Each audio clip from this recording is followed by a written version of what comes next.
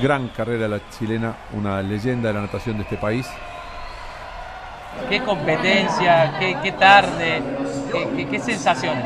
Eh, son muchas sensaciones, por suerte nuevas, que me permito vivirlas, que me permito experimentarlas y sentirlas porque lo que viví hoy es nuevo, es mágico y lo agradezco, pero de lo más profundo de mi corazón. Que haya podido estar mi familia, que haya podido estar gente que sé que son fanáticos de la natación o de mí o de lo que sea y vinieron, llenaron el, el estadio, una marea roja impresionante, así que de verdad que queda chico la palabra gracias. ¿Qué análisis se hace de los 1500 que acaban de pasar con mucha emoción acá en casa? Bueno, eh, estamos súper contentos porque una vez más eh, Cristel ha demostrado que es eh, muy competitiva en este nivel.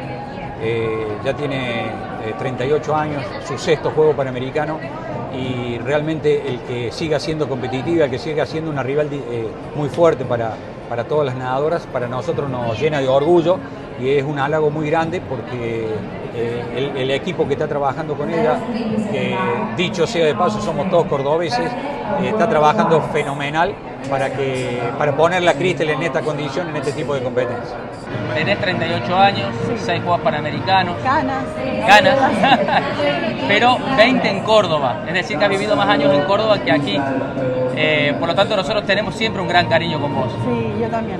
Ustedes me abrieron las puertas el Daniel me está bancando, está aguantando, la familia allá, le mando un beso grande porque es, es la gente con la que más me acompaña y más me, ubica, me centra, me cable a tierra, así que de verdad que muchas gracias por estar siempre ahí, siempre me abierto las puertas, eh, la agencia de Córdoba, el Kempes que me, me dejan entrenar ahí a la hora que sea, a las 5 de la mañana o a las 10 de la noche cuando teníamos que entrenar tarde cuando estábamos para, trabajando para arriba. Así que de verdad muchas gracias. Realmente está, viviendo en mi casa hace 20 años con mi familia, o sea, para nosotros es una, una hija más del, clan familiar.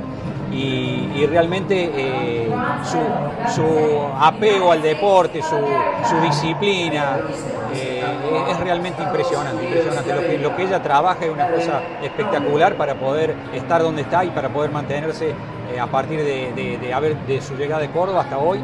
Eh, su sexto juego panamericano y solamente en el 2007 eh, no pudo obtener medalla, o sea que para, para este tipo de evento sigue siendo competitiva, campeonatos mundiales tiene 11, va para el número 12 y siempre ha estado entre las 10, o sea, es una carrera realmente importante la que está haciendo.